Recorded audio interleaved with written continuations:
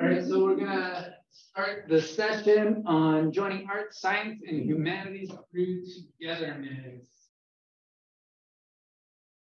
Sorry to interrupt the, the poster presentations, but. Thank you guys for coming back. Uh, I hope you all enjoyed a very energizing poster session and had a good lunch and maybe got some coffee to sustain you through all these afternoon presentations. And that at this point, you're maybe even starting to think about what happens after the WAISC conference is over. I have some ideas for this. Um, my name is Brit Myers, and I work for the Arctic Research Consortium of the United States.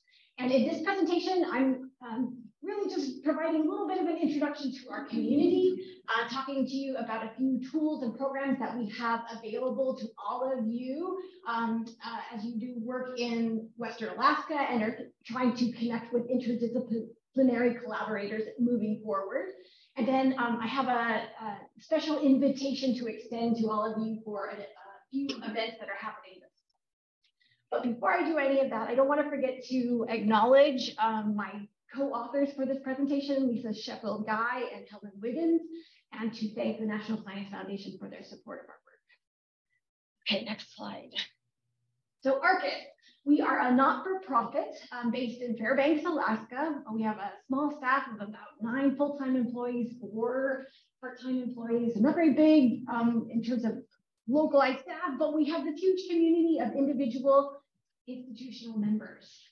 And we've been around since 1988. Um, we're supported in the work that we do by the National Science Foundation through a cooperative agreement.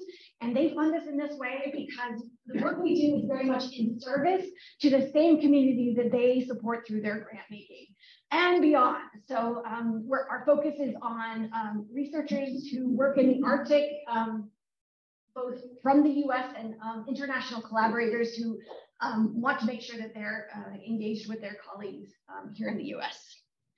Um, next slide.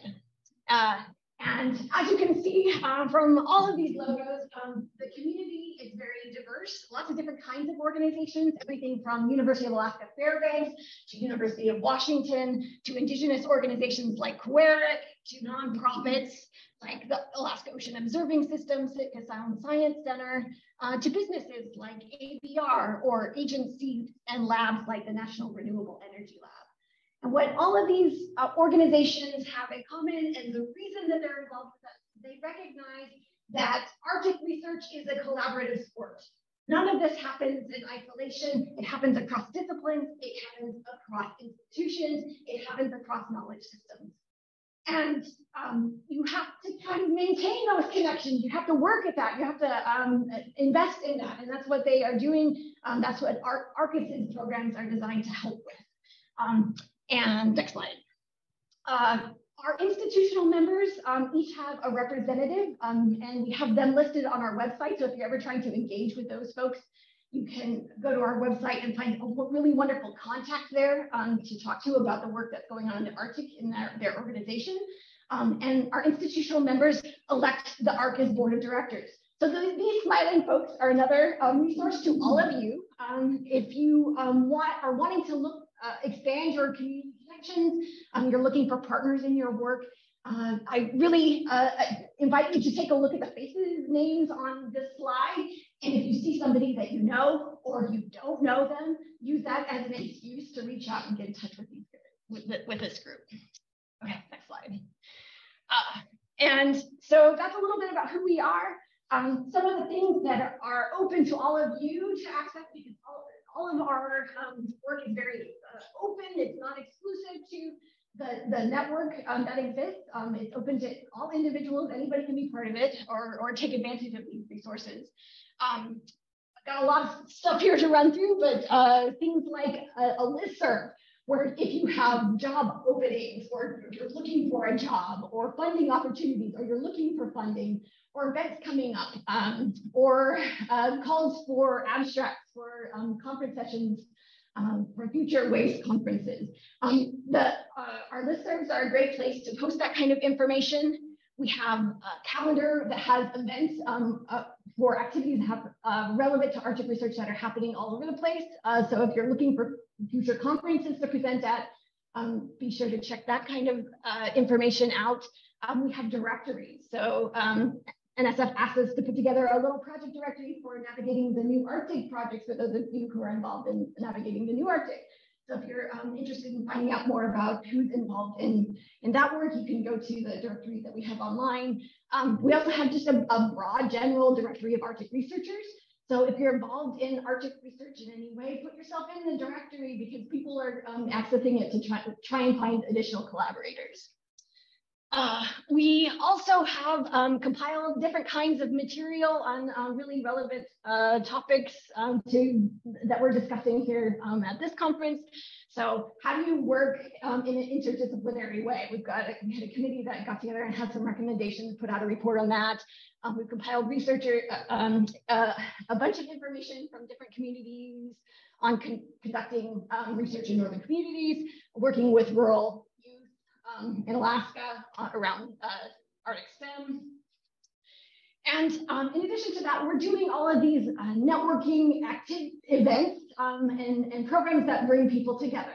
So one of these um, kinds of things is a, a, funders meet and greet where we um, bring researchers and other community members together with uh, funders who are, are uh, supporting uh, the work that goes on in the Arctic. Um, we have an Indigenous Scholars Program um, Tonya Osborne, who is here with me at the conference, um, was one of our former Indigenous scholars. Um, and those scholars uh, visit uh, Washington, D.C. to talk to agency officials, policymakers about um, issues that are really important to them and their communities. Uh, we have a community and citizen science uh, in the far north conference that we uh, started in 2020 and will be repeating again in the um, coming year. Uh, so I'm building that community of practice. Um, and then the final thing I'll mention is our Sea Ice for Walrus Outlook program. Next slide. So if you were at the WAISC conference last year, you may have heard a presentation from Amy Hendricks uh, from UAF. Um, she had just uh, done an evaluation of the Sea Ice for Walrus Outlook um, with support from the Alaska Sea Grant. Um, and so you could probably go back and check out her presentation for a little bit more in-depth um, overview of CIWU and, and all of that good work. But the Sea Ice for Walrus Outlook um, brings together Western scientists and forecasts from the National Weather Service um, and on-the-ground observations from a number of community observers in the Bering Strait region to um, put out uh, seasonal reports um, around early spring breakup that are really useful um, for uh, subsistence hunters, for uh, people uh, um, just wanting to understand what the travel conditions are. Uh, and it's there's a really good, uh, I shouldn't say that, I should say a well-established community of users and a big Facebook group that has um, grown up around that. And um, with the evaluation, I think we were hearing a lot of um, you need more CIWU, you need more CIWU in other communities. You need to include other kinds of information beyond just the sea ice conditions and um, weather info. So things like that are relevant to the subsistence users, policy uh, stuff, emergency preparedness. So other kinds of content for those reports. Uh, uh, they also want us to increase the opportunities for the um, local observers, so partnering with other networks to expand those kind of opportunities and finding um, um, other ways that we can bring the information uh, that doesn't require you to be online. so um, lots of really good ideas that we're working on to address. And um, any of that sounds familiar to the work that you guys are doing, we're, um, we'd love to uh, put you in touch with Lisa Sheffield Guy, who manages this program, because um, we love to partner. Okay, so that's a little bit about the stuff that we do. Um, for the, my remaining time, just want to talk a, a, little bit about some of the things that we're thinking about doing in the future. Um, and in uh, August of 2020, the National Science Foundation put out a Dear Colleague letter inviting proposals for collaboration hubs, hubs of, projects that are bringing together um, communities and Western researchers in innovative ways. And with um, the Sea for Walrus Outlook program, um, key partners like Kawerak and ICC Alaska that we um, work with on the Indigenous Scholars Program, we have um, what we feel is a really strong kernel of a, a hub already kind of in place. that we're looking to expand, and we're thinking about how to do that and who to engage in that work. Um, so one of the ways that we could approach that is like going through, you know, the ARMAP to find, you know, all the NNA or NSF um, researchers that are operating in these locations, um, you know, searching through all of these uh, different databases that are out there. It's a lot of work. It's a lot of work for everybody to find out all this kind of information. So we're wanting to um, do what we can to help synthesize some of that um, make it easier for our community to understand who the actors are out there, who, who, who is working in different communities. And what we're going to do that is by hosting a workshop this fall. So uh, next slide. Um, and before we got to the workshop, I, um, you know, I had to come here first um, because this, this, this has been going on for quite a while. You guys are already an established community, so I needed to know more about who was here, um, it was fun to, I did just a little network analysis of like which organizations were involved um, for the past couple of years as presenters. So there's definitely some ARCUS members and you, you guys are a big contingent. Obviously you host the conference. Um, but it was really fun to see all these other blue dots, which indicate other organizations that we're not as familiar with. Um, so I'm excited to be here to get to know some of you. Um, and next slide. And um, to hear to invite you all to, to join us in this workshop that we're, we're planning for this fall. Um, long before the um, Dear Colleague letter came out, ARCUS was already asking our community about what kind of collaborations they wanted to see happen. And these um, collaborations that are about um, spanning interdisciplinary boundaries, you know, bringing social scientists together with natural physical scientists, um, connecting with communities is the top of the list in terms of who people want to speak with. They don't, they, they do care about um, you know, funders and they do care about uh, decision makers, but these are the priorities. Um, and similarly, uh, uh, I think there have been a lot of efforts in the past to create online um, spaces for people to connect and engage with one another. Um, we do speed networking events, but that's not what people are asking for. They're asking for um, very focused workshops around um, themes or topics. And so that's what we're doing. We're going to do a workshop around Western Alaska. Next slide. Um, and uh, this event uh, is being planned as a hybrid activity with a few uh, online meetings in October.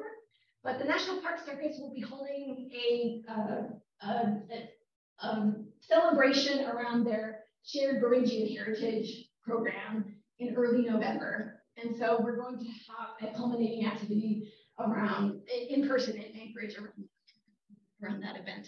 And so I'm just going to end with this, with this invitation to please consider um, taking part in this workshop. Um, Tonya, um, who is here at the conference with me, is also helping to think about how um, uh, all of your organizations are working with communities. So um, please consider talking to her if you haven't already about your work. Um, and then uh, please help us share this information. Um, once we have more de detail, we'll be uh, putting it out on ARCUS listservs and, and our newsletters. So join, um, sign up for that if you aren't already so that you'll hear more about this workshop. Thank you. Any questions?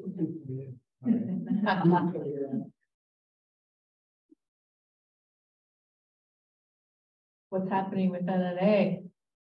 This is it, right? This is the last. Well, I've had conversations with our program officers that haven't conclusively said that it's the end. So I, I'm not sure that they know yet. So.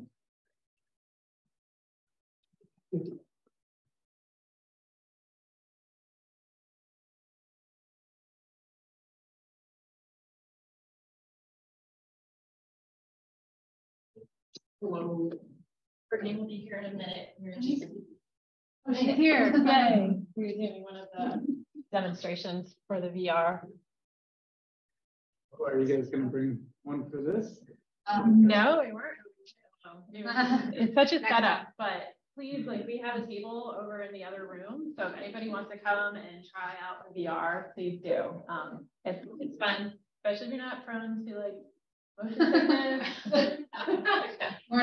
Yeah, yeah. Otherwise, you're gonna have that that kind of hangover feeling, which is no fun for anybody. And yeah, I'm very prone to it. so I know it well.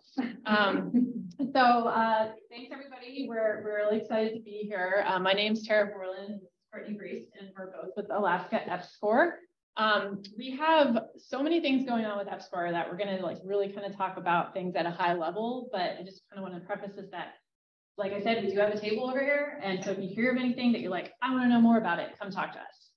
Um, so next slide. Um, this right here real quick is just the current leads of the project. So as you can see, it's a statewide program across all the MIU, MAUs. Um, and at the end, I'll have another slide with my contact and Courtney's contact. So you guys can take that down if you want to contact us for any other information. So we'll start off with what is EPSCoR. Um, I naively always think everybody knows what EPSCoR is because that's all I hear about every day. Um, but a lot of times, absolutely no one's really heard of it. So EPSCoR is a National Science Foundation program. It's a five-year, $20 million grant. Um, to be competitive for an EPSCoR grant, a state has to receive below a certain threshold of NSF funding over a five-year period.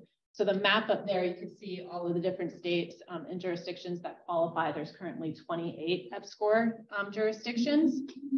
Um, so EPSCoR, the established program to stimulate competitive research is really just that. It's about building research infrastructure in these states that currently aren't receiving a lot of science um, foundation funding. So they call them their RII grants, which is Research Infrastructure Improvement Grants. Um, we are in the fifth year of our current NSF EPSCoR project. It's called Fire and Ice. Um, go to the next slide. So this is the mission of our project right now. Um, I'll go into the research themes on the next slide, but you wait here for a minute. So with that $20 million, what are the types of things that we're spending money on in addition to research? Because there's just so much more than research that um, we do. Part of that research infrastructure improvement is bringing in new faculty hires. So when the proposals are written, they're looking at what kind of science we want to do um, and where we need to kind of improve the expertise, what fields we don't really have in Alaska where researchers are, are experts in that. And we do up to five new faculty hires over the course of the, the five-year grant. Um, next slide. So the two themes of fire and ice are coastal margins and boreal fires. Um, they're both looking at climate-driven changes um, in those ecosystems. And like I said, we're at the end of that one. So in October, that this one will be wrapping up but we do have a new proposal in. Um, so next slide. So the next project is called Glaciers to Gulf, and it's kind of really taking that coastal margins piece and expanding on it. Um, so it's looking at climate change induced glacial runoff and how that affects marine resources in the Gulf of Alaska region. Next slide. So what I think is really cool about the way the researchers wrote the Glaciers to Gulf proposal was that before they wrote it, they started having meetings with stakeholders in the communities where they want to do the research. So they had um, webinars. They actually went out and visited and, and spoke with community members, um, and, um, also including farmers and agencies to find out like, hey, we're going to be here doing this kind of research. What species are interest are of interest to you? Like, why? What would you like us to see dig in further to? Um, next slide. And so from those meetings, they came up with this current uh, species of interest list. So right now, as it stands, between what the researchers were interested in and what the communities are interested in, these are um, some of the species that will be part of the Glacier Gulf project. Next slide. So why we're really here today, though, besides introducing you to EPSCoR, is to talk about all the other stuff that we do with Alaska, Alaska EPSCoR, because there are a lot of opportunities um, that we want folks to know about um, including things with economic and workforce development, education, and community outreach. Next slide. So we'll start with um, economic development. So, oh, I think we missed one. It's okay. If we, if we can't get it back, it won't be the end of it. Yeah, this guy right here. Or actually, you missed two, I guess. Okay, well, you can see here in the smaller slide, it's just kind of an, it just wanted to highlight um, some of our current collaborators. Um, one of the important things that we do. I'm sorry. Okay. So many logos, picture of really awesome logo. Way more than those two. Um, to be able to do all the different programs that we do, we really rely heavily on partnerships and collaborations. Um, so we we work with a bunch of different groups within and outside of the university. Um, can try that one. So all of our economic development activities, we look at STEM-based economic development activities. The groups that we've been um, partnering with on those types of activities have been um, the Center for Innovation, Commercialization, and Entrepreneurship, Alaska Trend, which is the Technology Research and Development Center of Alaska that's based at UAA, and the Arctic Innovation Competition. So the next slide. So some of the some of the programs that we work with are, or that we do with economic development um, with Center ICE. One of them is Students to Startups. So Students to Startups a super cool program that's matching UA students with local Alaska startups. Um, it's a mutually beneficial program because the students are learning about what it takes, you know, to start up a company. And startups have access to all of these resources at Alaska Center ICE to kind of learn what they can do um, uh, customer discovery, like all different things, and they have all these resources that they have full access to when they when they join the startup company, and they get an intern from UA to kind of help them with what they're doing at the time. Um, Center ICE and Trend both put on SBIR and STTR workshops that we help support, and so those are small grants, the Small Business Innovation Research Grants and Small Business Technology Transfer um, grants so we put uh, Center ICE and Trend will workshops to help startups learn about those opportunities, um, what's available, and how they can get access to that. And one step further, Alaska Trend does Phase Zero Awards, which we support. So the Phase Zero Awards are kind of that step leading up to SBIR and STTR. So the, the local Alaska startups that receive those awards receive help from pro professionals to learn how to write the proposals um, be, and be more competitive for those SBIR and STTR grants. Um, we also support the Arctic Innovation Competition, which is an annual competition. Um, they have different divisions for kids and adults. And when Alaska EPSCoR started um, helping out with that, we started the Kicker Prize. So that's a 2000 additional prize. And we do it for the best climate adaptation um, submission for the year. And I just wanted to highlight April 22nd um, coming up is when they're going to be announcing all of those winners. And it's really great. If you go onto their website, you can look and see what all the submissions are. And there's there is an award where you know people going in can vote and pick their favorites. So definitely check that out. Workforce development. We do a lot of workforce development um, for our uh, early career faculty, for all of our students. EPSCoR supports so many faculty and so many students, um, and we want to do what we can to also kind of increase their, their workforce development. One thing that we're really excited about that was started two years ago, I think, is our Student Ambassador Series. So we decided that it shouldn't be us dictating what kind of workforce development we're offering to the students. We want to hear from the students. What do you need? Um, what would you like to have done? So each year we um, elect a student ambassador from each of the coastal margins and the boreal fires components, and they help us determine what kind of um, professional development we'll put on. So we've done things like grant writing, applying for agency jobs. This one was really popular. We opened that up to students across all UA. And we had people from different agencies come in and tell their stories, like how did they get their foot in the door? Um, you know, uh, how to write resumes, like what is your best kind of path forward if you want to if you want to work with agencies. Um, also, how to be a good reviewer was another one we put on.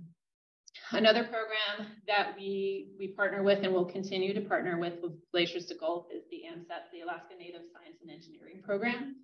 So we have offered internships to ANSEP students to work with our researchers in the summer, and we'll continue to do that with the Glaciers to Gulf, and we're hoping to do at least three ANSEP students every year in that project. And we work with the Sitka Sound Science Center. So this is another exciting professional development opportunity that we offer for our researchers and our students. Two of their programs that we um, that we place students in and researchers in and we help um, support are the scientists in residency fellowships. So this is a one month long sabbatical in Sitka where researchers get to work on their um, their own work for a little bit, but also get great a great amount of science communication training. And they also get kind of hands-on experience in all these different situations in Sitka. Um, one thing that I think is really cool that they do is they highly encourage research, researchers to come and incorporate their not just their professional passions, but their personal passions into um, their communication with the public.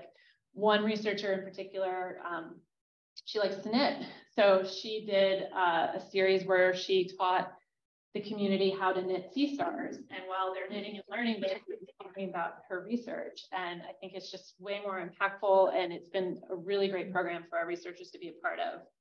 And then the second program is the scientists in the schools. So this is kind of a mini or one. It's a one week um, trip in Sitka and they work with their, their K-12 education specialists there. And they get paired with teachers in community that are looking to do projects based on the type of research that that researcher is doing. And they, they learn how to interact with the students. They learn how to kind of model their, their discussion so that the students will have something to take away from it. So it's been really great. And we're definitely continuing to do that partnership with Glaciers to Gulf as well. That okay. I saw multiple things and making sure. Yeah. Okay. Perfect. Perfect. Um, so these are opportunities: travel awards, pro professional development awards, and seed awards. All three of these we currently do, and we will continue to do with the next EPSCoR. Many people who came here um, came on our travel awards, so we do WAISC travel awards every year. Um, some of them turned into professional development awards because of COVID. So we always kind of did a certain amount of travel awards every year. COVID hit, no one could travel. What do we do with this money? Um, and so we kind of transitioned that to professional development type activities or workshops that were available online. And we were able to do a load of those because usually registration is a lot cheaper than, than flying. And it seemed like those were really popular. So we're going to kind of keep with that, where the travel awards can be going to conferences or it could be going to get training. Um, so definitely keep an eye out for those. If anybody is interested in um, finding out about those as they come, please let us know. We'll add you to our mailing list. One of the professional development awards that we created this past year was the Scuba Inclusion Awards because our coastal margins project relies so heavily on um, scuba as being part of the field work, we wanted to be able to kind of open up those opportunities to folks to be able to get their certification and participate in the field work. And then we also do seed awards. So seed awards are really important to EPSCoR projects. So it's essentially like we look for anyone who has kind of really new innovative thoughts on ways to expand the type of research that we're doing currently. Um, so we do those every year of the project for students and for researchers. And we also collaborate with Alaska INBRE. So INBRE is kind of the sister program of um, EPSCoR. It's an NIH kind of version of it. And both of us are based in UAF. And so we come together because we have similar chunks of money for things like professional development. And we decided to kind of capitalize on that. Like, hey, let's come together. We need similar professional development. Let's do these larger workshops. So we're really excited to offer this Ignite workshop this year. It was the first time we did it. We had three tracks for staff, student, and faculty. Um, we did some in-house training, and then we also brought in some uh, folks from outside to give other additional training. You see on the right, that's Dr. Sharon Milgram from NIH, and she did several series on resiliency. She's wonderful. I, I highly recommend her. She's got a lot of stuff online, and we hope we can bring her back again because she's fantastic.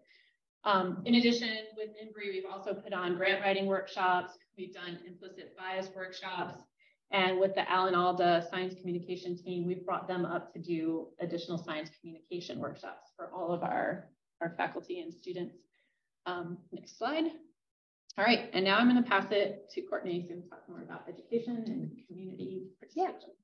So um, in addition to the um, like the wildfire, the research arms of our EPSCoR grant. Um, DO is uh, standing for Diversity Education Workforce Development, is another arm um, as part of this grant, and that's where I'm housed under, um, which also is, um, you know, these are our three main goals as per the strategic plan, which I know everyone loves to read, but uh, basically also that sort of like capacity building effort um, with a big focus on K through 12 and STEM education. And that can be as a whole throughout the state, um, but we always try to link it up with what the communities we are conducting our research are in are interested in, what they need, and time to our ongoing research. Next slide. So, for example, we're fire and ice, wildfire um, in the boreal forest is a big research topic, and um, we had a postdoc, Megan McGinty, who developed a wildfire and change in Alaska curriculum. And it's very um, it's it was designed for grades three through five but we've done multiple teacher workshops with people from all k through 12 and even pe teachers and you know so after school programs. So this has been piloted and taken out into the field um, in a lot of different ways and you can see with this little um, image here it's all about kind of talking about how a wildfire would spread but it really kicks off with also um, wildfire as a cycle and the natural cycle of that so this is available at our table um, in the other room. So I'd love to, and I have additional resources, additional games. They're designed specifically to be able to like travel really well across the state. Um, and I would be very interested in talking to anyone who might think they think they could work this into their um, wherever they work, um, schools or like I said, um, other sort of like community outreach opportunities. Next slide. Um, so on the other side, ICE, we work really closely with the Kachemak Bay Natural National Estuarine Research Reserve, and we're creating transferable education models, which is kind of like that curriculum, a hands-on educational tool that ties really closely in with the different research topics and methods and findings of our coastal margins team. And we also do teacher workshops, stakeholder presentations, which can be like community brown bags. Um, and it's always tied to uh, their local communities. We're working on taking these also on the road and like piloting them in different communities or just sharing them. We're purchasing and um, making kits of supplies for these activities. So again, if you're interested in something for classrooms, please follow, reach out to me and I'd love to talk more. Up top is like a fun watershed activity. This is a groundwater model um, talking about how water is moving underneath the surface. And this is some of our teacher workshops. And on the right is a public um, outreach, uh, like a kind of a science night where we'd have different tables and anyone, um, kids and adults, and would be able to walk through and learn a little bit about a bunch of stuff at the same time. We will be having um, KBNR as partner in the Glaciers to Gulf as well, and they are going to be conducting some field classes for high school students. And a lot of these things can bring students from all over the state. So um, even though like this is based in Kachemak Bay, please don't think that wouldn't include your areas. Next slide. A really cool program. Um, this is under the Inspiring Girls Expeditions program. I don't know if you guys have heard of them, but they bring 16 and 17 year old girls out into the backcountry um, and doing field science. And again, this pulls um, thanks to funding from Alaska EPSCoR and the you know, the people who run these programs. Um, we have Girls on Water doing kayaking and Girls in the Forest pack rafting. This is out of Kachemak Bay. That's um, in the interior out of like the hub is Fairbanks, I believe. And we will be continuing this in G to G. This brings girls from all over the state of Alaska. Those are prioritized, and it is an incredible experience. It's completely free, and it's offered to people who maybe have not had the exposure to these opportunities before. Um, those are prioritized. Next.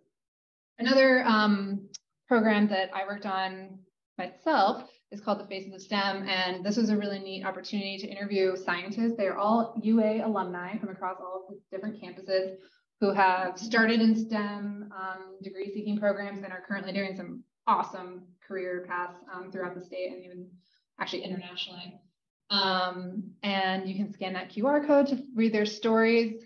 Um, this is just an opportunity to just demonstrate all of the unique paths um, that student, current students, STEM students could take um, and be inspired of, you know, there's no one right way to find a really cool STEM career.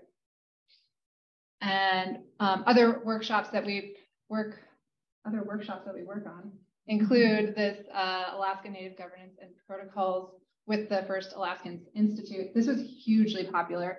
I can't take any credit for it. Uh, First Alaskans Institute did an amazing job creating um, a work, an opportunity for people to come together and learn how to um, interact and work better, more closely um, with the Alaska Native communities they might be interested in conducting research in. And it was so popular that I'm pretty sure we will be doing many more. So just keep an eye out. Next. This was super fun. Tara and I just did this, wrapped this up, feels like yesterday, um, in February. About almost 100 middle school students coming into Fairbanks and Yeah, in- from around the state. from around the state, and they were in teams um, with their middle school units, and they did 16 hands-on science events. It's a national tournament, so we had a winning team who are now going to go to Wichita and do the National Science Olympiad tournament, and it was so much fun. The topics ranged from physics to chemistry to engineering, and uh, it was it was a really good time. And so if you are, we would love to have a team from Dillingham if you're from here. Um, and we were able last year to, to provide travel support for those teams to get there. We also had them, they had the opportunity to stay overnight, um, which was pretty much required by any team traveling. So they got to stay in the dorms on campus and even had like an evening reception. So, I mean, I just, I actually have a friend who did this as a middle schooler and she's now an awesome engineer because she won the, I don't know, the bridge design competition. She's like, well, I guess I should do this. I'm really good at it. So it works. uh, no. Similar to what Tara mentioned earlier, uh, do have its own specific seed grant awards, and I just wanted to make sure that was mentioned so that um, anyone who's working in education or outreach, you know, might seem a little less formal than the other um, seed grant awards, but they are able to. Um, there's there's a lot of different examples up here, but um, it's a lot of it is just you know as long as it's oriented to STEM or um, you know this is a really neat one, whale dissection. And I can definitely connect you with um, proposals that have been done before and connect you with someone who might be able to tell you more about how to apply for those. And it, well, and just real quick, in addition, we also do data visualization seed grants. Okay. Um, so we've done those before. So we have a, that's coming up the data visualization team. We'll talk about that. But yeah, so we definitely look for different ways to kind of, um, support, you know, not just basic research. And so the, the visualization ones were, were great as well. So keep an eye out for those. Yeah. We, we always put stuff out. Um, so please, please get on our mailing list if you're interested. I know we should have put a mailing list link. Come find us at our table and we will Yeah. sign Yeah. you up. Because yeah, I know we're throwing a lot at you right now, but it's just to show how many things are ongoing. And if you sign up for our mailing list, you'll hear about all of them Yeah. in real time. Uh, science pubs, super fun. I don't know if you guys have ever attended them, but it's another opportunity to share our research with um, the community. This one was fun. We did it. It was a hybrid event um, with a wine expert, and so talked about you know where wines are made, where in glaciers. It worked. And um, the natural history information for tour guides.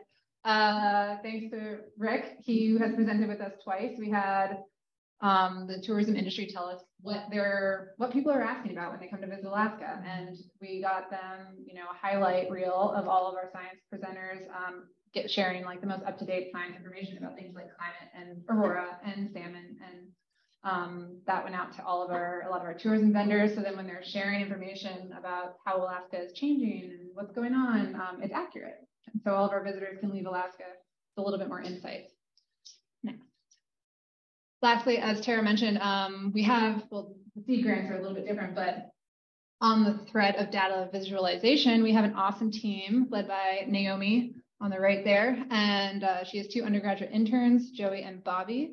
They create things like uh, videos, animations, and um, including virtual reality options, which I'll talk about more in a second here. Um, but I am meant to share that they are open for business. So if you are interested in having something um, like a data visualization product for yourself, these are not EPSCoR exclusive um, workers. And so that if you have research that you would be interested in creating an interesting data visualization product, um, we could easily connect you with these guys. They make amazing videos that are very good at um, kind of deciphering complex issues and um, findings. So next. In the other room at our table, we have this FireWise VR game, which was made in partnership with the Alaska Science Fire. Fire, Fire Science Consortium. And, oh, it's right there. I did that for myself. Um, Courtney. Um, anyways, it's an interactive tool to prepare your house for fire season. And it, yeah, come check it out at our table. It's really impressive what they've done. Um, and really fun to engage with the public um, and just share. It's like a stepping stone into that conversation of a deeper topic. And sometimes the little kids will just go to town with it and then go home and tell their parents like that's too that we should have like gas can there. You should, we should have a chip. It's really fun. Yeah. Next. Okay, so here's our contact information and yeah. Awesome. Yeah, and like we said, we're over there. So if there was anything we talked about, they're like, we want to know more, please come talk to us. Thank you. Thank you.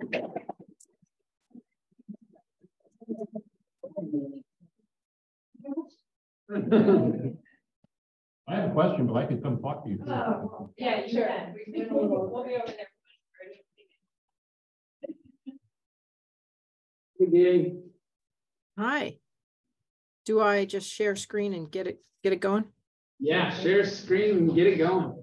All right, let's do it. Hang on one sec.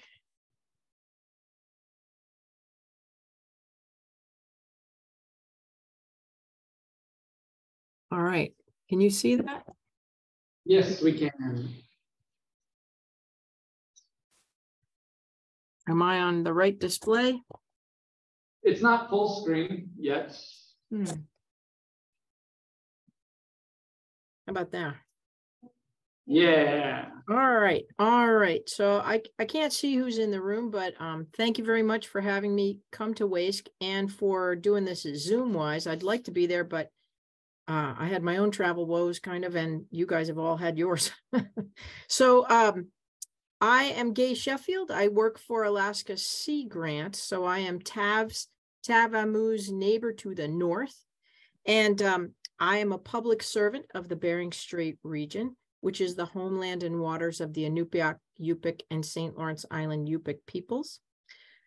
So I'm going to give a talk on this emerging issue of uh, harmful algal bloom in the Bering and Chukchi Sea what was document kind of the history of it, what was documented last year, which was rather extraordinary, and then where how we responded to that and kind of what what we're doing to gear up for 23.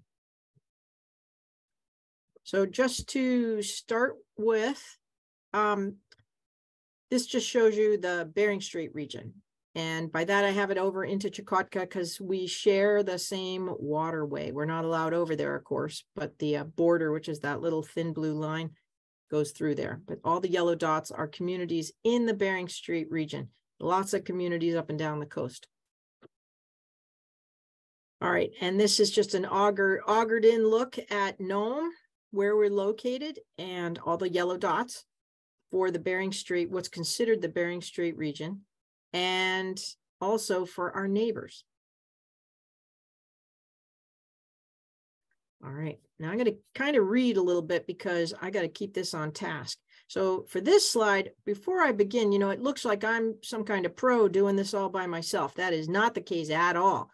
I am part of a big collab collaborative effort, both in the region and outside the region that's going on. And these are just a, a handful. There's many others uh, but you can see we're a huge, uh, it's a big research project. It's a big community uh, health issue, so forth and so on. And we'll get into it. So buckle in, here we go. All right. So we need marine algae. They are vital, right? We can't be here without, we actually, none of us would be here without algae because uh, these, this is the base of the food chain and provides food to clams, krill, tunicates. Up here, they're known as upa. Oh, wow, there's lots of people. Hi. Um, crab and many, many fish. For us up here, it's like the capelin, the herring, sand lance, that kind of thing. And the best example of seeing good algae in the north, anyway, is when you auger through your sea ice to start setting your crab line through the ice and you look underneath and probably in Bristol Bay too, you look underneath the ice as you're pulling out your debris there once you've augered in, and you can see the brown material on the bottom side of the ice. That is all good algae. And, and, um, and then we get more during the summer. All right, so we're going to talk on this talk about Alexandrium catenella. And that is in Alaska. It's a, it's a type of algae. There's lots of types of algae. There it turns out there's lots of types of harmful algae, but this is a good, this is one of the few types that is not what we want to see, Alexandrium catenella. It's usually found in large amounts in the water warmers of the Gulf of Alaska and further south, like southeast. Alexandrium produces a powerful nerve toxin called saxitoxin. It's one of the biotoxins that cause paralytic shellfish poisoning, lovingly known as PSP. Uh, this is a paralytic shellfish poisoning is well known throughout the rest of the country's coast, as well as in the Gulf of Alaska and Southeast. And and now it's kind of we all know about it now because we're all going to face it.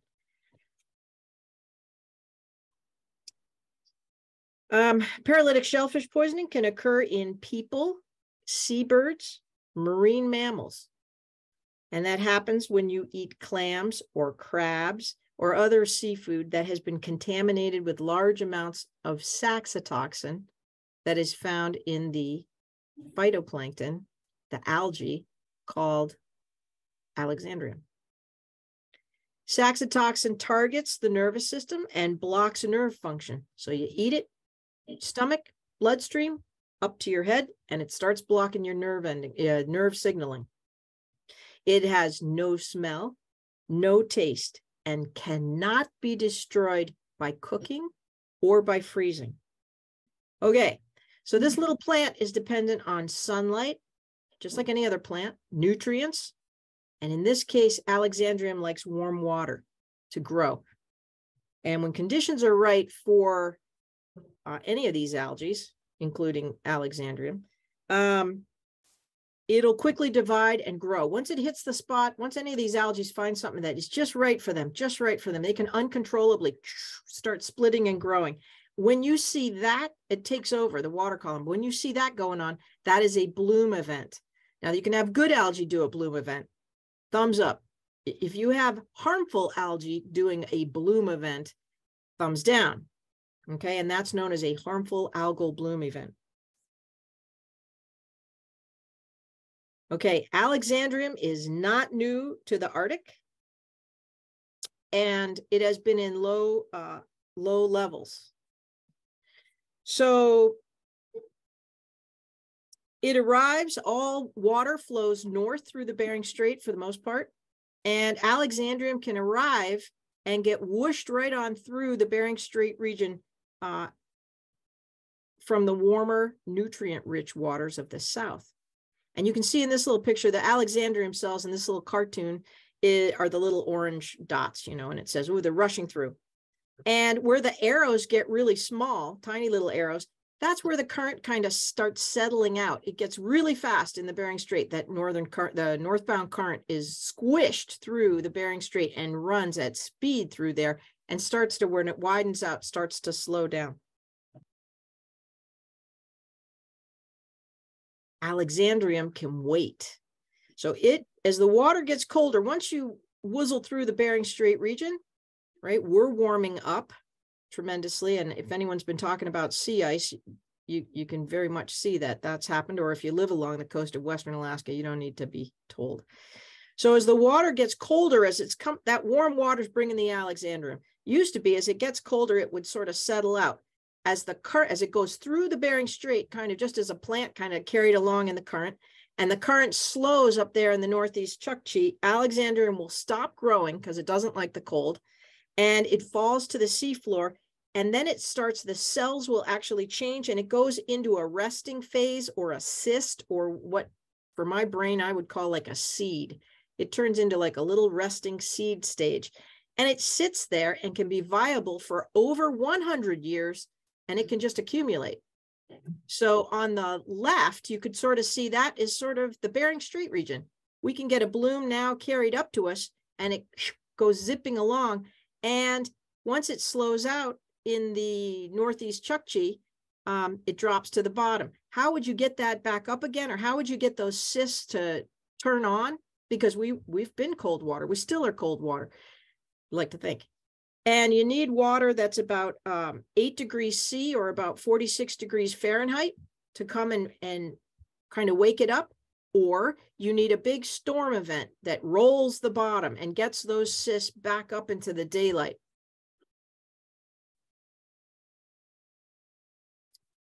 All right, not new. I said it was not new.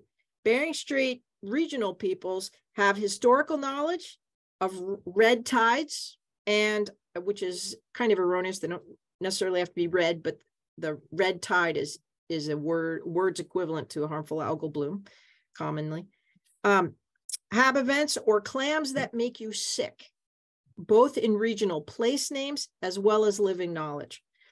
So this uh, this map here with all the marine mammals shows that there was a NOAA study published in 2016 that looked at 13 uh, species of marine mammals. This is in the lower right, and showed that saxitoxin was in every species that was tested.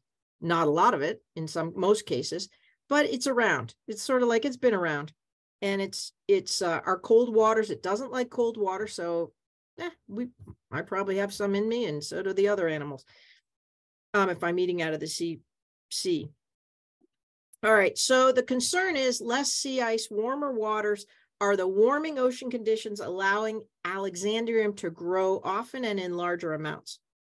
So there is a large research effort going on underway, um, funded by NOAA, and it's studying saxitoxin in the food web and in marine mammals and other seafoods. And it is also looking at seawater. So you know this topic of harmful algal blooms people knew you know maybe it was something that was coming our way so we people started to think well we should probably look at that. And then we had a big shocker last year. Hook yeah.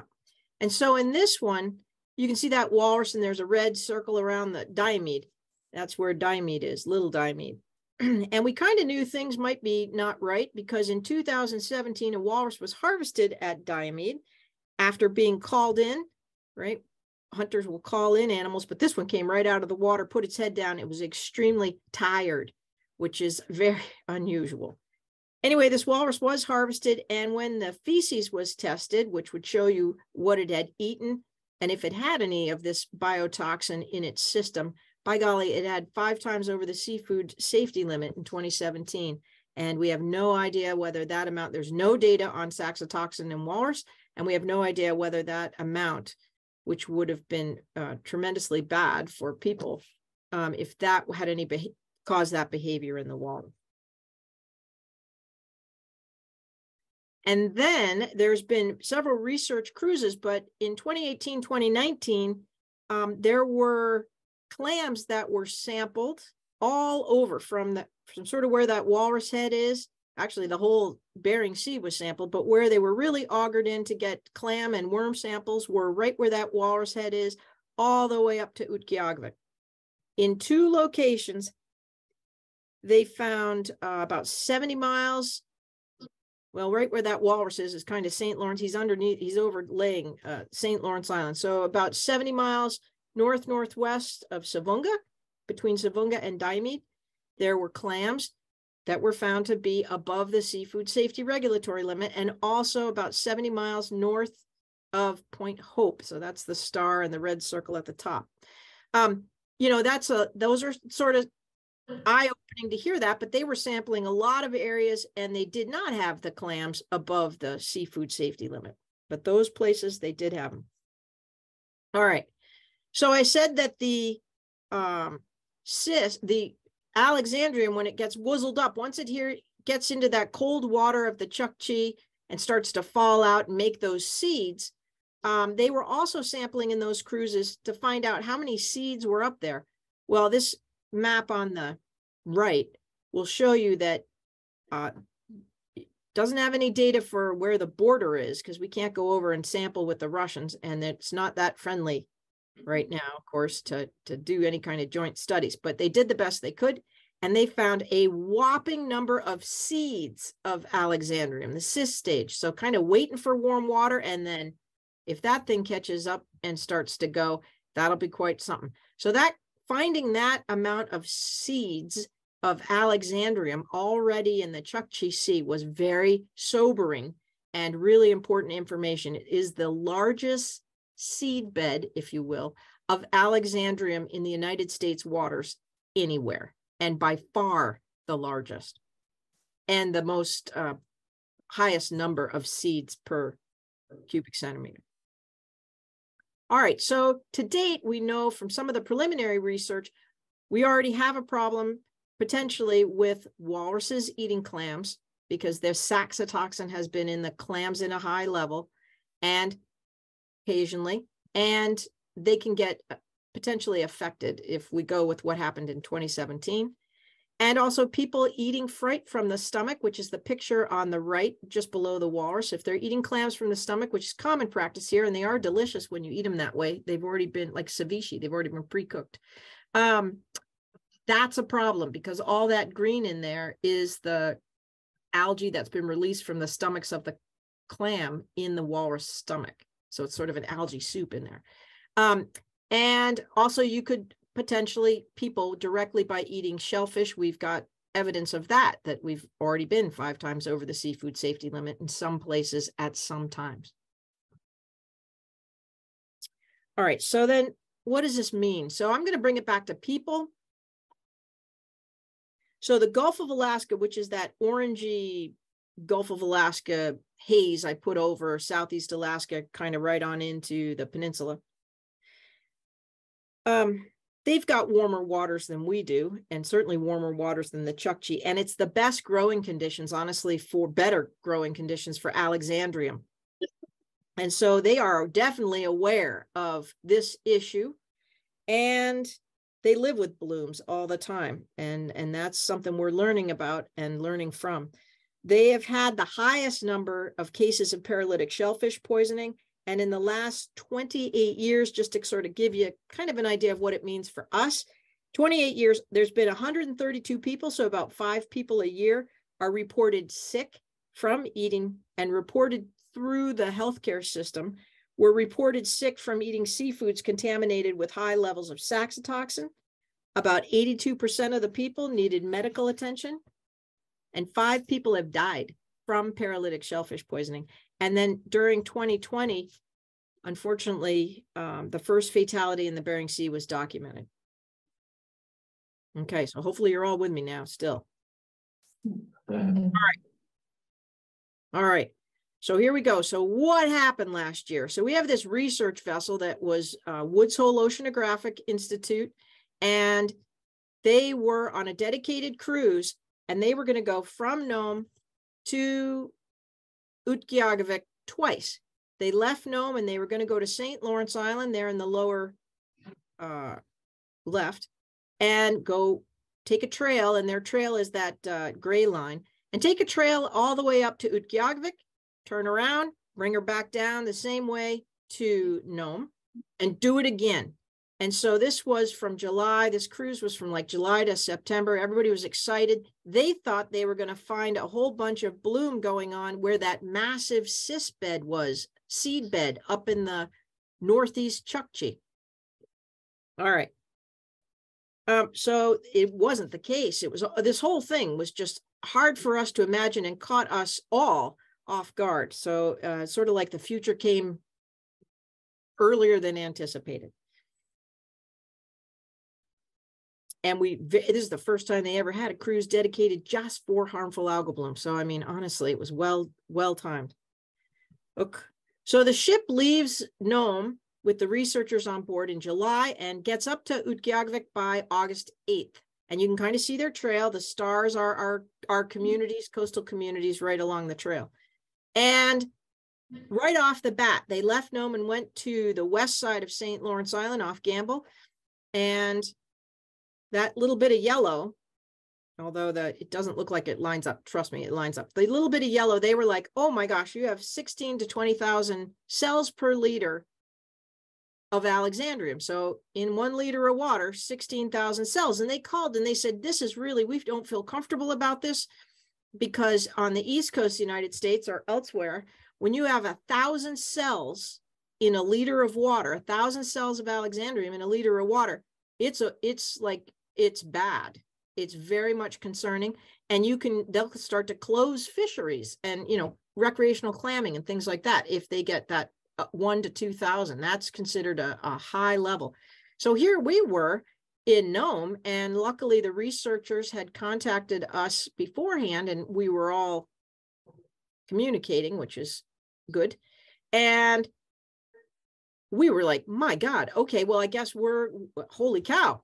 So we started making phone calls, and we'll talk about the response in a sec. At that time, we did get a sample from a spotted seal, but no saxitoxin, thank goodness, in the in the poop. Well, they they were coming back down from Utqiagvik from August 8th to August 14th. They could not go back to St. Lawrence Island due to weather. And so look what happened. Now we're at 40,000 cells per liter off of in the not only off in the Bering Strait, but also now off of um, Shishmaref and south of Kivalina. So the bloom had grown and it was shifting. It was on the move. So interestingly, that blue up in the northeast where everybody thought was going to be trouble, perfectly nice, perfectly nice. All right. And we had no samples during that time. So the ship came in, bought eggs, got water, whatever they needed, and then they took off again and they were going to do the trail again. Again, they couldn't go to St. Lawrence Island because of the weather, if that tells you anything. But now it kept getting worse. We were, if you had under the star of the uh, diamide right here, it's bright red, kind of like this.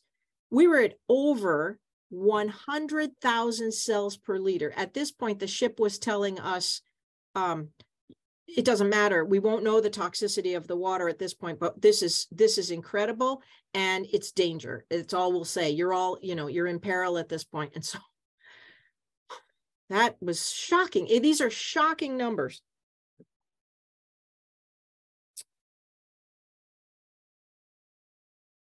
And at that time, interestingly enough, um, the ship got to didn't get to St. Lawrence Island, but we were able to do at this time. This is when it was most sort of highest and dangerous. We were mm. able to get the red dot on St. Lawrence Island is from Savoonga. A clam was caught on a long line hook, amazingly, kind of a gift from God, this one. And there was actually a discussion by the keepers of it. It was a big six inch surf clam. People wanted to eat it wanted to feed it as a specialty food because it was so healthy, such a big, beautiful clam. They wanted to share it with the youngest of the family to sort of introduce them into the, um, you know, the, the best of the foods. And so there was discussion saying, you know, uh, myself and the Norton Sound Health Corporation were asking for for samples. We were we were saying it is it is crazy, and we're trying last, you know, send us what you got. We'll get it tested. We don't really understand uh, what what is happening with our seafloor or our seafoods. That clam, that red dot, thank goodness they sent it in and did not consume it. It was five times over the seafood safety limit. And you know, when you this is novel to this area, totally novel to us all. And the fact that they were, you know, it was going to go to a two-year-old. Um, I'm just saying it was that was very sobering. You know, people uh new to us. This is new to us and it has big consequences potentially. Okay, just a heads up, we're ten minutes over our time, Mm-hmm. um, just, just as a heads up. 10 minutes over. Yeah. All right, we'll get right to it. Bloom, uh, you should, why? So sorry, you guys. So an- anyway, we'll pass right up. Know that um, for the Bloom event itself, it was all about that. Res- it was all about communications. The research vessel was communicating to Sea Grant and Norton Sound Health Corporation, as well as AOS, the Alaska Ocean Observing. Sea Grant and uh, Norton Sound Health Corporation, we pulled the Department of Public Health in, and they were actually brought in uh, immediately. And so th- that's why they're circled in green. Having the Department of Public Health probably saved lives. They were able to stand our clinics up in 24 hours. And when it, the poison was found, or the high cell numbers were found off of Maniilaq territory, they're a health corporation for Northwest Arctic Borough, they could rope it right in, and they had the benefit of Norton Sound Health Corporation. We went regional hard on regional media, right? We don't care about ADN or, or Fairbanks, right? We need to talk to the people of this region immediately. And basically, saxitoxin is in the food web. We had the largest saxitoxin bloom and strongest in the country ever. And luckily, thank God, nobody was uh, reported sick through the healthcare system. And we don't know what's happened to those cysts, especially after Merbok. And we need a lot of help. We need more seawater sampling, more food, more marine mammals, because we comprehensively utilize the marine ecosystem here. Sipunculid worms are eaten, crab, tunicates, marine mammals, seabirds, the whole nine yards. So 2023 brings us, and this is the last slide, 2023 in the Bering Strait region, you do the best with what you have, and you can always ask for help. Those are really rural Alaska's uh, motto, I think. And for us, the Norton Sound Health Corp Corporation's Office of Environmental Health, I can't sing their praises enough. They are doing regional community seawater sampling program, and they have a long-term goal for that, a never-ending goal is to continue now to see uh, sample the seawater and get us kind of like a, a warning system going. But it is limited in its coverage. We need our seafoods tested, tested, tested this summer, and we're trying to figure out how to get that done. And the EcoHab project that I'm involved with is getting samples. We're getting samples from the research community as they are working their way up here all the way to Barrow as far as clams offshore. Locally here in Nome, we're collecting uh, intestinal samples from marine mammals. We're collecting seabirds, getting them to the right uh, people. And also we will be helping um, Norton Sound Health Corporation with testing the sea foods. So right now, all we can do, and we're really busy with it, is reaching out to the State of Alaska Department of Public Health, coordinating everybody and getting our regional media ready again. Only this time we are going to blindly broadcast our updates. They're going to be translated into Russian because into yeah into Russian because here in the Bering Strait region our radio stations are listened to over in Chukotka. So uh, because we do top of the weather really nice, you know, the National Weather Service, and I think they kind of want to hear Rick Thoman too. But um, the the uh, National Weather Service gets the top of the hour on the hour for the weather. So um, the Russians do listen in Chukotka. And so that way we can, if we, if the federal government can't figure out a way to communicate, we do have a moral obligation to make sure our neighbors are not in peril um, when it comes to this sort of thing, environment. With that, sorry to go over. Thanks for your patience. Thank you,